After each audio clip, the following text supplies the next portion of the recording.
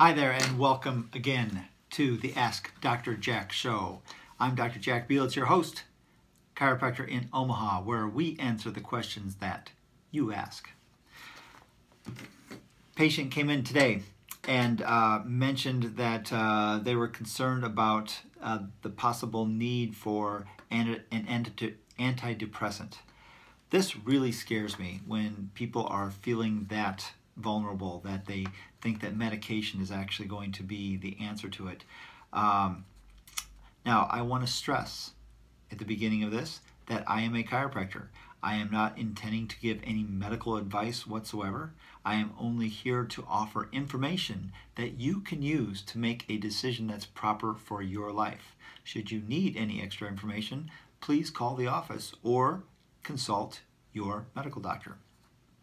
Okay, so um, I came across some really an in, really inter interesting study where um, so these researchers realized that this uh, neurotransmitter called serotonin is really big in the brain, and it's one of the things that kind of help the brain stay in a positive note. And uh, a lot of the antidepressant drugs are basically trying to play with the serotonin uh, levels and, and things like that in the body or in the brain. Um, the problem is, and here's the big problem right now we don't know enough. We are just shooting blindly at, at, at, things. And yeah, they've done a bunch of research and everything like that, but we don't know how neurotransmitters fully work yet. I mean, here's a study that is putting electrodes on the brains of mice because they're trying to figure out how serotonin works in there. So how can they possibly know what's going on in the human brain, which is much, much more complex? So this is one of the big issues that I have with um, with taking drugs of that sort uh, is that you know we don't really get it yet. Um, now I'm not saying that people don't need help, and there are ways that people can get help. And all of those, in my opinion, should be exhausted before you step into an office looking for some type of prescription.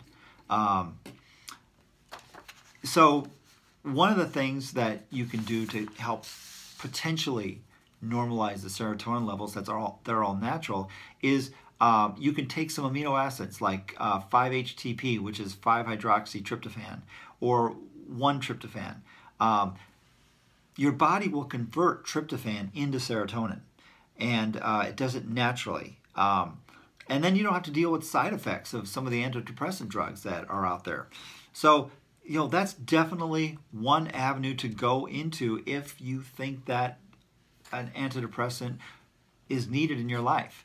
Uh, another thing that you should consider very strongly is a chiropractic technique called network spinal analysis, where it literally goes in and helps the brain basically see the world in a different way by affecting how many and how many how many and how fiercely the nerve impulses go up to the brain so it doesn't get overwhelmed and you can focus more clearly and basically take in the world at a much better uh, pace. Um, if you are looking for a network uh, doctor, Google it uh, if you're not in the Omaha area. If you are in the Omaha area, um, call the office 402-333-4848 and we'll schedule a exam to see if maybe you could qualify for some of the benefits of that type of work um, rather than going into the more drug-related um, work. Uh, and remember, even um, natural things like these 5-hydroxytryptophan, they should be taken with professional guidance because they will affect you. Just because they're over the counter doesn't mean they don't have effects. Look at aspirin. Take too much aspirin, you can have kidney disease, you can have stomach problems, you can have all kinds of things. So just because it comes over the counter does not mean it's completely safe.